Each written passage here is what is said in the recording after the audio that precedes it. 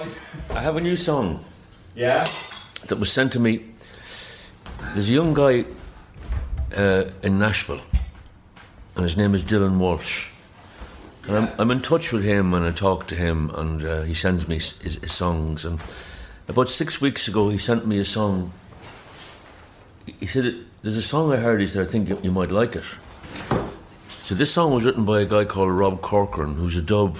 He's a Dublin singer, working the London scene, the pub scene, and I've been obsessed with this song ever since. And I want, I thought I, we'll start this off by me singing the song for you.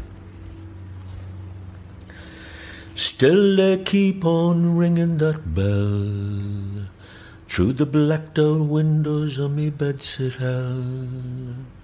From their steeples high they still taunt me with all their smug impunity. Those bells ring with no guilt or shame, resounding time and time again. The truth was told, their numbers fell, but still they keep on ringing that bell.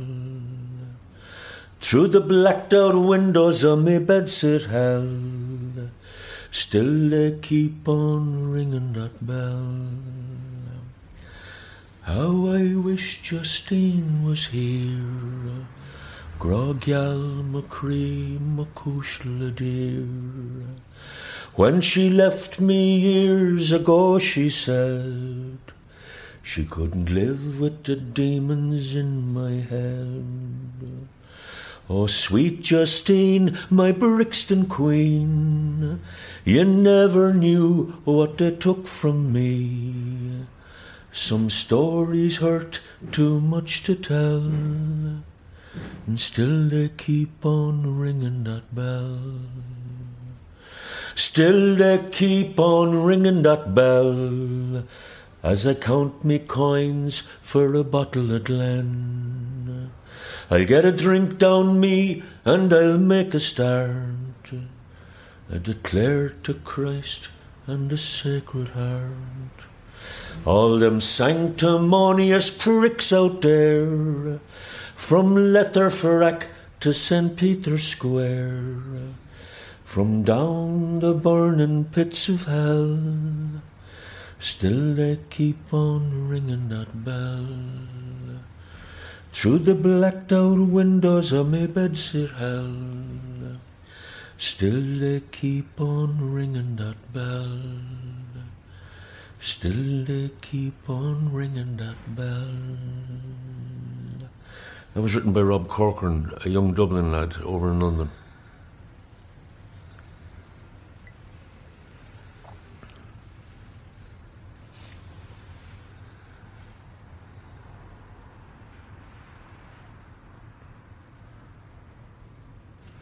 Powerful song, Christy. Can you tell me what, what attracted you to it in particular? Well, basically, Rob has written something there. He, he's written something that an awful lot of people, I believe, and certainly myself, think think about, and he's expressed something in a way that uh, I find very listenable and very singable. And I performed it three times so far. I performed it in Scotland th- three times uh, last week, and at the very first performance, at the end, people actually stood up and applauded it. And that kind of confirmed to me that my reaction to the song was, you know, the fact that people actually got it on first listening and stood up. People don't normally stand up during a gig to applaud something.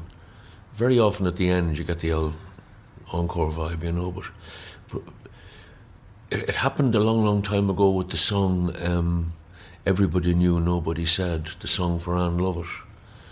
That kind of thing happened, you know, where a song actually gives people a way of expressing what they feel about something, you know. Because sometimes it's very difficult to have conversations about certain things.